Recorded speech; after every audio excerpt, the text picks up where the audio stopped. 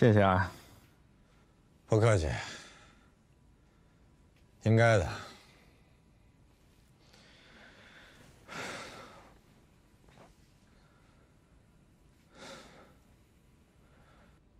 你知道我爸临走的时候跟我说什么吗？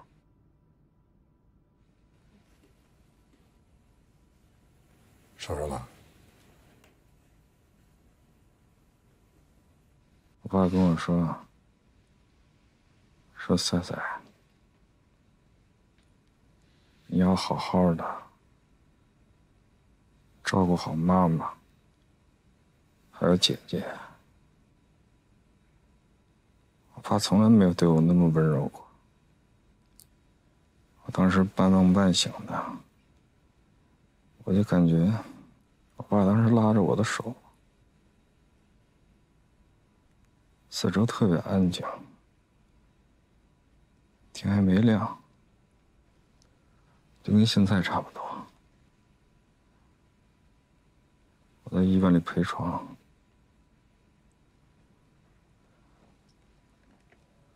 我爸就像这样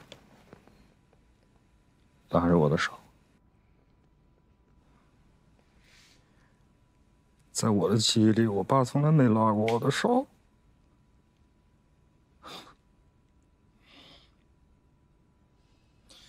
你爸拉过你手吗？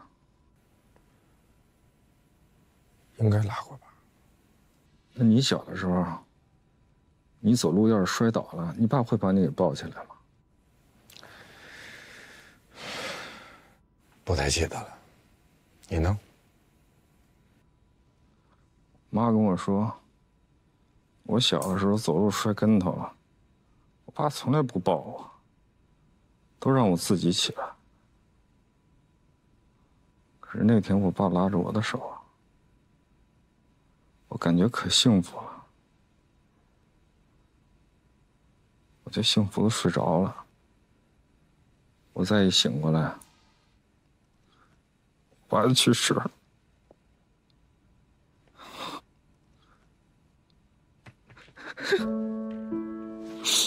我醒来一看，根本没人拉我的手，我自己拽着我爸的背角呢。我现在我特别恨我自己，我为什么就睡着了呢？我爸他拉着我的手，他一定是想跟我说点什么，可是他想跟我说什么？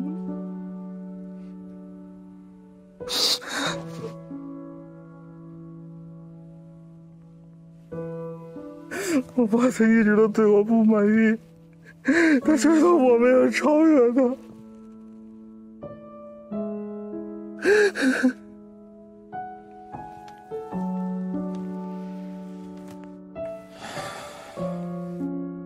他其实就是想对你说，你好好的，只有你自己好好的。你才能好好的照顾你妈，照顾你姐。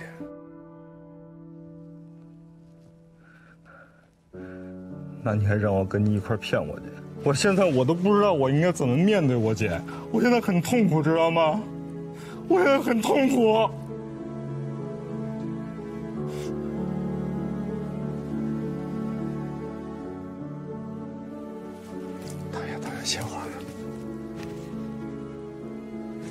你这么骗我？解恨吗？不解恨。不解恨，再打两下。啊？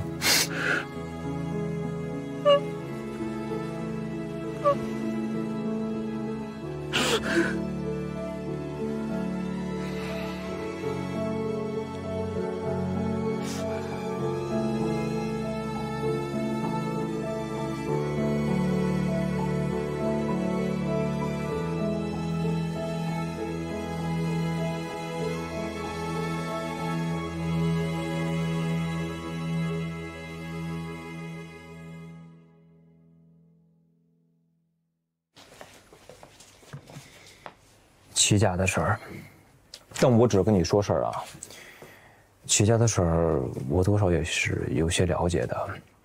之前呢，就有人投诉过他们，也曝光过他们。一般在这种情况下，他们会通知平台删除，或者主张民事调解。他们公司有一个非常强大的法务团队，一般人告不起。你还是想要劝我放弃，对吧？不是，我是想跟你说，我大概了解了他们的路数。他们公司有一笔专门的费用是用来平事儿的，一般的事儿他们自己就能平。所以你的意思是，他们不一般的事儿才找你们？是的。我突然想起来了，我遇到过一起，是一个老人的儿子说他父亲被齐家的保健品给害死了。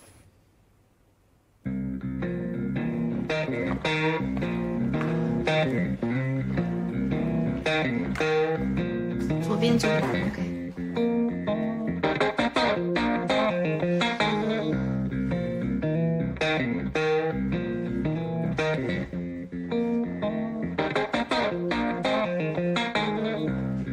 林大姐早，早，早，早好。早。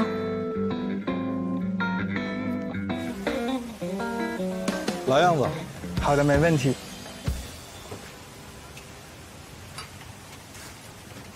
药主任，您亲自来吃早餐，我是亲自和你来说两句。麻烦加多一份。好的，什么事儿？您说。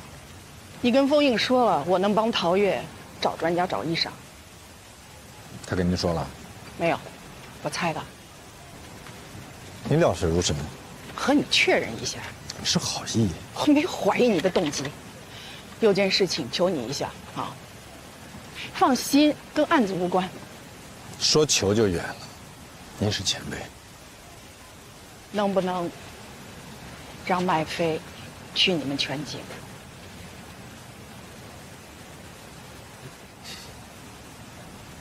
您对他可真是厚爱有加。他会是个好律师，不过他需要先接受一些教训。我能做的就是提前给他那些教训，让他早点摔跟头，早点再爬起来。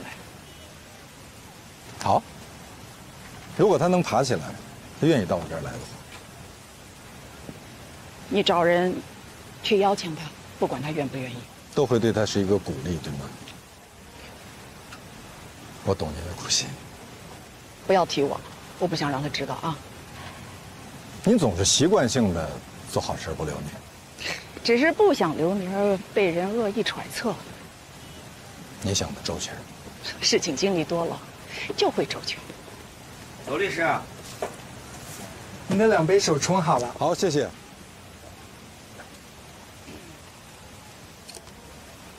啊，再提示你一句啊，你们到现在既没有撤稿，也没有道歉嘛。我是一直想找个机会能够跟你好好聊聊。不要浪费时间了吧啊！我们的客户没那么好说话。我劝你到此为止，不然等的就不是律师函了，该是传票了。我们并不怕打官司。你的意思是我们怕吗？再多说一句啊，我没有让供应给你施压。他当初在电话上跟你说到此为止的时候，我就在他边上，我听到的。但那不是我的本意，我的本意是，如果我们开战，那就要公开公正，绝对不能明里一把火，暗中一把剑。佳明姐，您太不了解我了，我不是那种人。我在说封印，封印也不是那种人。我比你了解封印。当初我带着客户走，他装没看见。我创立龙科，给他的客户一个一个打电话，客户问他，他居然说来去自由。然后我挑着他的客户打官司，他代理原告，我就代理被告。当时他居然就不再做诉讼律师，不亲自出庭，他一直就躲着我，绕开我。不，他是不想和您正面交火。但我们的问题是，他的客户和我的客户存在着利益冲突，我们必须选择一个。他建议您放弃，是因为他不认同您客户的价值观。他跟你说的？我猜的。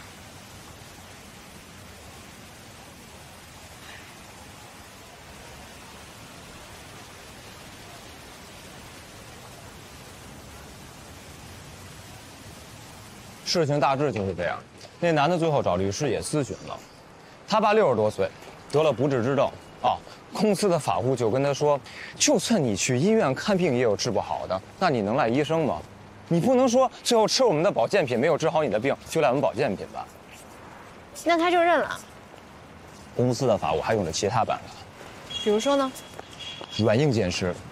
最后那男的签了一份保密协议，拿钱就走人了。但那份保密协议是我起草的，哎，我没跟他见过面啊，但我只跟他们公司法务对接。你能不能告诉我那人叫什么名字，住哪？我只能跟你说这么多了啊。那我有义务对我的委托人保密啊。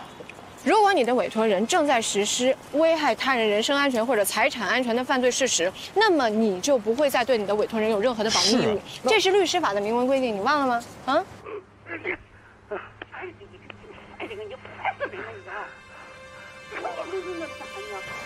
怎么了？干嘛呢？他居然敢这么对我爷爷！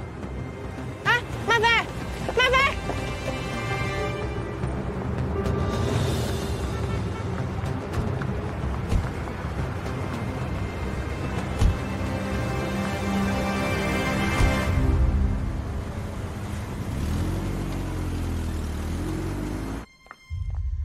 的照片我已经摘下来了，你应该跟我商量一下。这是我职权范围之内的事儿。可是封印还是我们的顾问，我们的顾问有很多，我们应该专门设一面顾问墙。你打算什么时候换办公室啊？不急。你坐在这儿，别人会觉得你只是封印的傀儡。有什么事情，人家还是会去找封印，让封印给你打电话。不会的。我需要一间办公室。你没有认真对待我。我认真对待了。可是能不能等我忙完这段时间再说？你也知道，封印留下来的这些工作，客户都得一个一个发邮件，一个一个去拜访，去说明情况。我跟你开一次口不容易。你要是觉得我就应该一辈子坐在人家办公室门口，我没有那个意思。这件事情我总得跟何赛跟大家商量一下，这些都是需要时间的。你还没有跟何赛说吗？还没顾得上。何赛这会儿正好在他办公室里呢。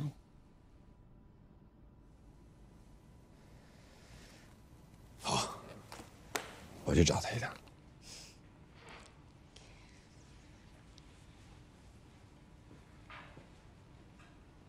我跟我姐吧，我们俩住在同一个小区里边，这个低头不见抬头见的。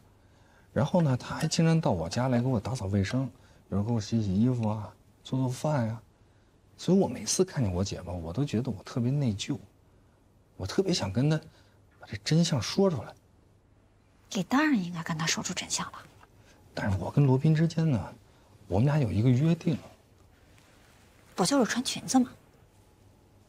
对，如果我要把真相告诉罗姐，那我就得穿裙子了。你没有裙子吗？你在聊什么？裙子。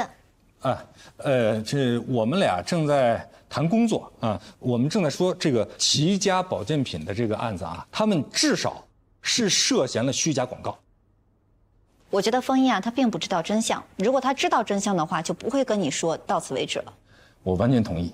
啊，如果你要觉得为难，你不好跟封印交代，这样我直接去找他，我跟他把话说清楚，就说是因为我一意孤行，跟你没有任何关系。我来就是想跟你说，如果你一定要做，我们一起。为什么？你不信任我，你怕我做不好？一点这个意思没有。那你为什么要说我们一起做？因为罗宾马上就要成为主任了，以后你们两个人不是平起平坐了。他以后也没有机会能跟你一起办案了，是这样吗？如果你拒绝，就当我没有说过。不不不，我非常乐意跟你一起做。生活不是我们活过的日子，而是我们记住的日子。我们为了讲述而在回忆中重现的日子。我用了整整一个周末的时间，读遍了所有的马尔克斯，我终于找到了这句话，可以跟你电脑屏幕上的那句话相匹配，作为我的座右铭。我都被你们感动了。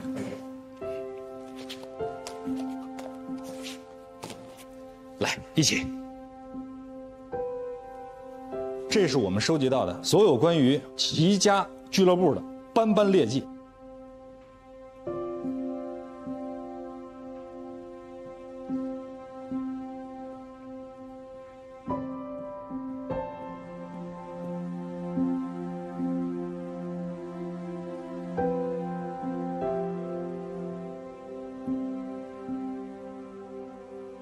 你是有什么特殊的事情来找我的吗？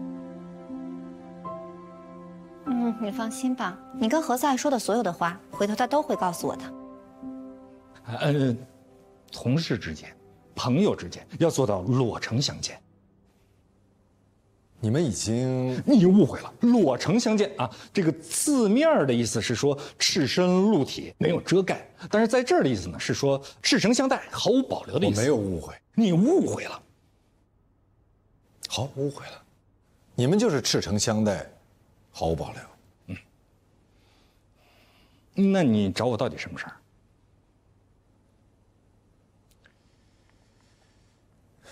其实我是想跟你说，我们是不是可以让麦飞回来？我不反对。我反对，我对麦飞没有个人的意见啊，但是我听说他跟齐家保健品的小公主在谈恋爱。哦，那那那那那我也反对，这不等于是在我们自己的阵营里给对方培养了一个卧底嘛？嗯，那看看是不是可以让他管别的案子？我们现在手头上的案子太多了。嗯，我觉得还是慎重一点吧。你再想一想，方老大走了，蓝红也走了，他们之前手上的案子全部都压在我这儿，我们现在需要人手。我可以介绍几个我的朋友给你。哎，我也可以。人有的是，我们现在缺的不是人，我们缺的是能干活、会干活的机器人。不不不不，不是机器人，是既有情感又有奉献精神的人才。人才，对，是人才。我现在终于理解，为什么风老大坚持不允许在律所内有恋爱关系。呃，我们不是恋爱关系，我们的确不是恋爱关系，对吧？我们过去不是，现在也不是。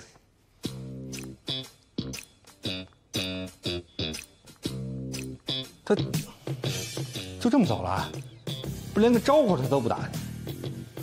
不，我刚才说的是我们不是恋爱关系，过去不是，现在不是，但我没有说以后也不是。显然你们俩还并不是落成相。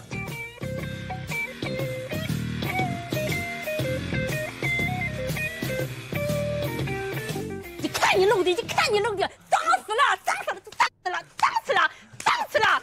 干嘛呀？干嘛呀？别别别别别别别，我们先看看爷爷，爷爷。来，爷爷，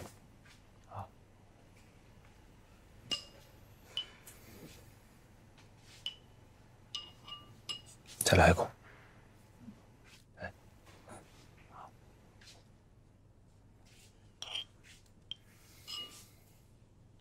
我以后一定好好干，好好照顾你爷爷。新保姆马上就到了，你赶紧收拾东西走人吧。求求你，你别换心，你别逼我报案啊！你别报案，千万别报案。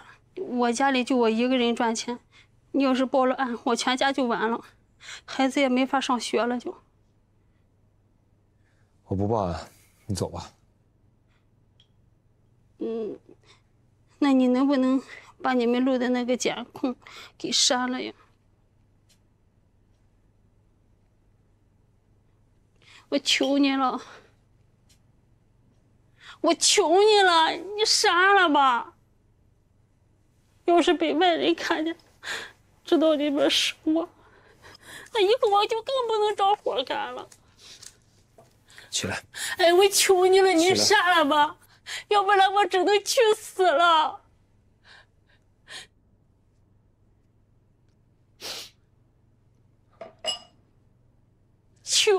把你杀了，行吗？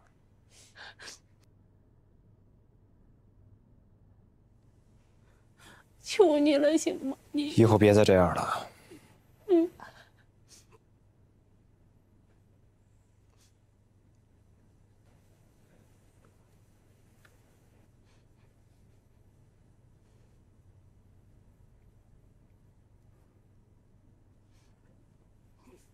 谢谢，谢谢，你真是好人，谢谢。哎就因为兰兰在何塞办公室，你就没有跟她说我的事儿？丽娜，你要知道，现在每个人都在跟我提出各种各样的要求，有要钱的，有要人的，有要客户的，就连去哪儿团建、买什么东西都来找我问我。所以我才跟你提出要求，我要进管理层，我要成为管委会的一员。这些事情都是我擅长的，我可以帮你分担。主任，万辉律师到了。罗律，我们见过。去年律师代表大会照合影的时候，我就在您身后那一排。万辉，你站在我们主任身后，我们主任后脑勺没长眼睛。贵人多忘事，您可能把我给忘了。没没没，来来来，快坐快坐快坐，请坐。来。哎呀，啊，万辉律师希望能加盟到我们的律所，所以今天把万辉律师请到我们的律所来，希望跟您见个面。王律师。说说您的想法。当事人不注意也就算了啊，把自己的账户写成了对方的账户，你查清楚了啊？你就申请保全了？何塞，你找我啊？我告诉你啊，没有下次了，再有下次直接走人，听见了吗？听见了。让你走了，听见了吗？好。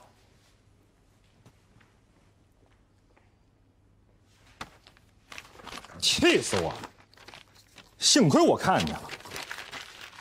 你消消气儿。你不知道他干了什么蠢事儿。你跟年轻人还是要客气一点。人家也是有爹有妈的人，万一人家亲爹亲妈知道人家在办公室就这么被你骂，那又怎么了？我就是被我爸这么骂大的。我这么骂他，那是对他好，为了他成才。范小天就是这么被你骂走的。哎，所以范小天才会有今天。啊，他现在在顾杰那边，已经是最年轻的初级合伙人了，独当一面了。哎，你什么事儿啊？我这忙着呢。我要进管委会，你什么意见？你要进管委会？嗯。律所成立至今，管委会成员那都得是高级合伙人，可你连个律师都不是，你只有行政方面的经验。是。论打官司，我是不如你们；但是论行政管理，你们未必比我强。那李女士，如果让你进管委会的话，你要从哪儿管起呢？我如果上任的话，第一件事就是让你搬到罗宾的办公室去。还有，我要实行办公用品个性化管理。合伙人可以选择自己喜欢的办公用品，从订书器到签字笔，还有信号笔。不只是信号笔，还有便签、信封、信纸。高级合伙人还可以定制自己的信纸和信封。那我的名片可以镶金边吗？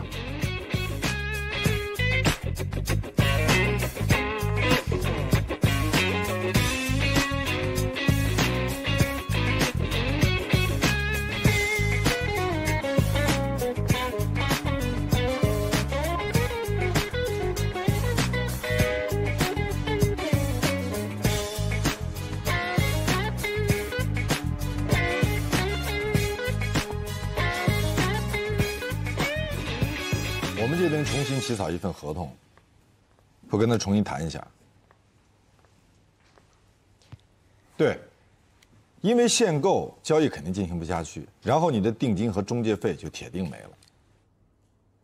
而且，事情还没有结束，因为你合同已经签了，到了付首付的时间不付就是违约，逾期十五天就会有百分之二十的违约金，中介会威胁说到时候房东铁定会起诉，让你付违约金。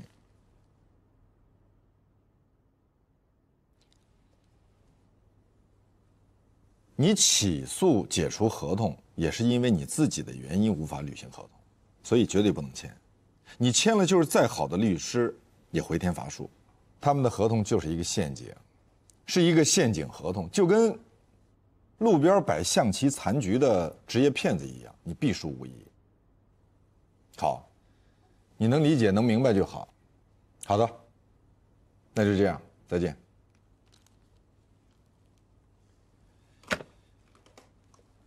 有什么高兴的事儿啊？你看出来了？你脸上写着呢。何塞同意了，同意什么了？他给我提供了一个非常有建设性的职位——首席运营官。我们迅速的达成了共识。确实，全景的惯例是管委会成员首先都是高级合伙人。你上任伊始就让你破这个惯例，确实会引起大家的质疑。所以何塞才提出了首席运营官这个职位。然后作为交换，你就建议我给何塞换一间风景更好的办公室。这不是交换，这是他应得的。这就是你的运营。我有一整套运营计划，这只是其中之一。这是你一整套设计好的收买人心的计划吧？这叫增强凝聚力，不叫收买人心。我纠正你一下。我还没任命你呢。我时刻待命。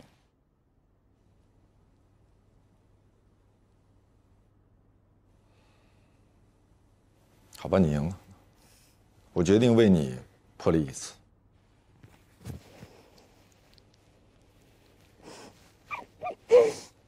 谢谢。我去工作了。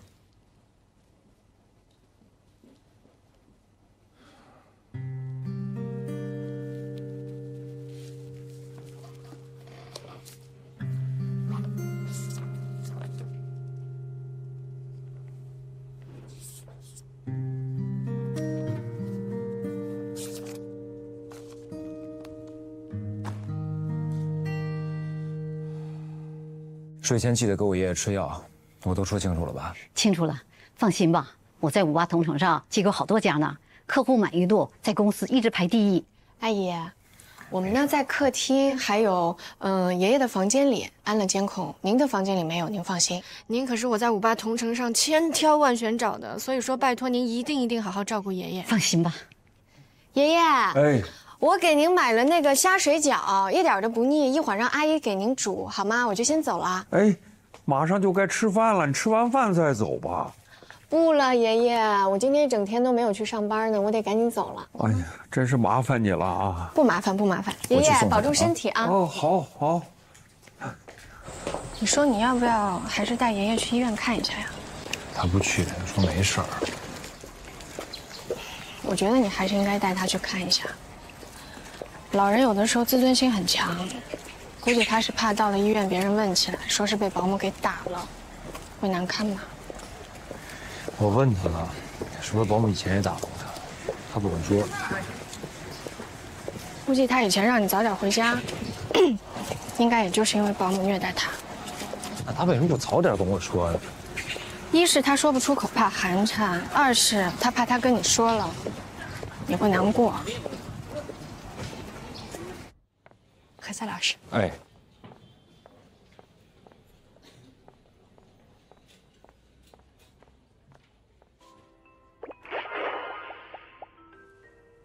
你对我有什么不满？你可以当面跟我说。没有不满。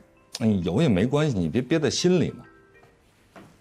好吧，咱俩是什么关系啊？我尊重你的认定。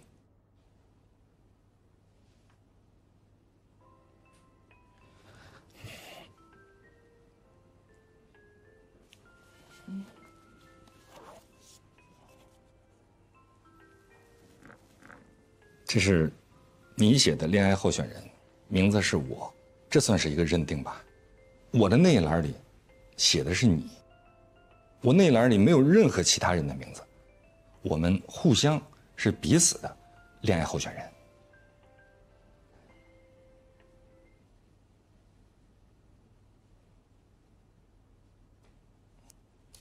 但是候选关系和正式关系那还是有很大的区别的。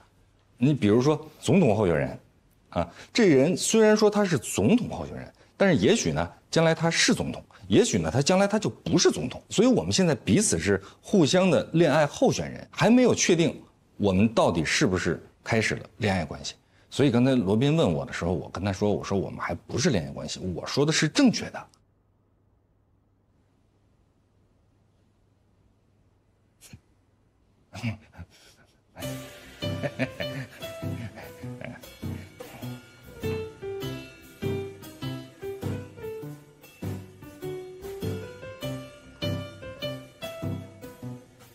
这个还是我留着吧。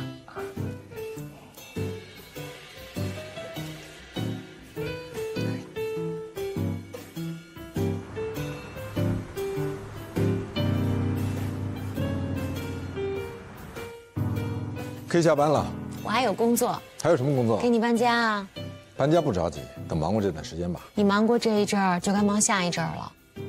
可是现在真的是腾不出手来。我两手空着。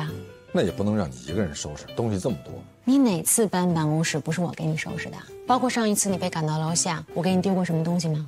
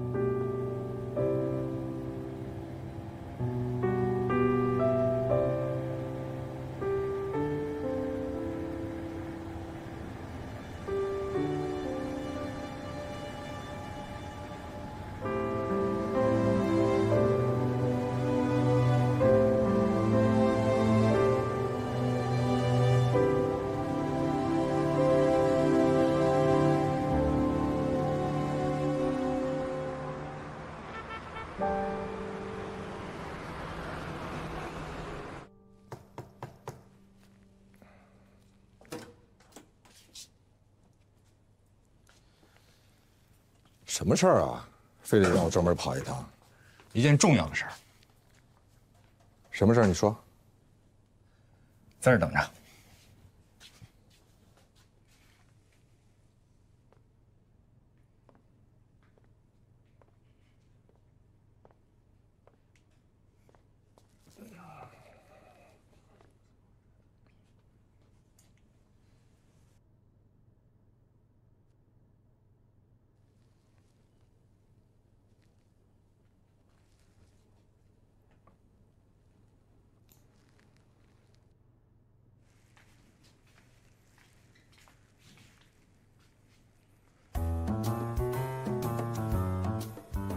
你这干什么呀？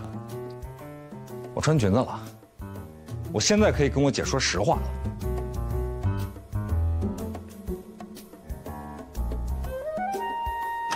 还挺合适的，哎。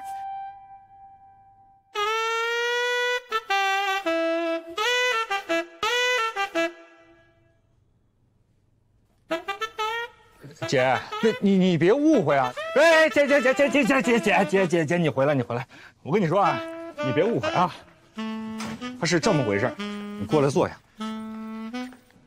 有件事儿，我必须跟你说清楚了啊，就是之前啊，我答应了罗宾，我们俩打了一个赌，我要帮着他撒个谎，是不是罗宾？我当时就跟你开个玩笑。没想到你还当真了！不不不不，君无戏言。如果我不帮着你骗我姐啊，那么我就要穿裙子。但是姐，我必须把这个实话给说出来啊，哪怕是穿裙子，我也一定要说出来。那就是刘英美，我没有跟她借过钱。啊，没关系，没关系，不重要了。呃，这不重要，是吧？不，姐。我现在说的可都是实话，都是实话，一点都没有骗你。你要是不信我，你可以问罗宾，啊，你问罗宾，罗宾你说，是不是实话？是实话，哎，是实话，实话。啊，我相信，那什么。其实我来吧，就是想给你收拾收拾屋子，没别的事不不不，姐姐姐，你坐着，你坐着啊！你你你你不用，你不用给我收拾屋子啊！你不用给我收拾屋子，从今以后我自己收拾屋子。啊，对呀，以后就自己收拾屋子啊！那什么，我今天来就是给你买点水饺，我放这儿了啊，自己弄着吃。没什么事儿，我就先走了。哦，那我跟您一块走，我送你，我送。你。站住！我今天必须得把这话说清楚了，姐是这样啊，我姐夫跟你婚姻生活这么长时间啊，他有一段时间呢，他非常的不快，他非常的压抑，当然这个原因有一部分是我给造成的，所以我呢要向你表示诚恳的道歉，还有我姐夫的在天之灵，我也要向他道歉，在我姐夫这段。漫长的痛苦过程中，他有一个朋友，给他提了一个建议，那就是让他离婚。但是如果他离婚了，啊，那么你们婚前我为你们写的那个婚前协议，他就会一无所有。所以他这朋友呢，就有给他的一个建议啊，让他呢弄这个虚假债务。但是我姐夫从来就没有用过这个办法。虽说我姐夫去世了，你在他的那些遗物里边，找到了很多的借条。但是这些借条，我弟弟是不是应该去医院看看？啊不不，увидимся.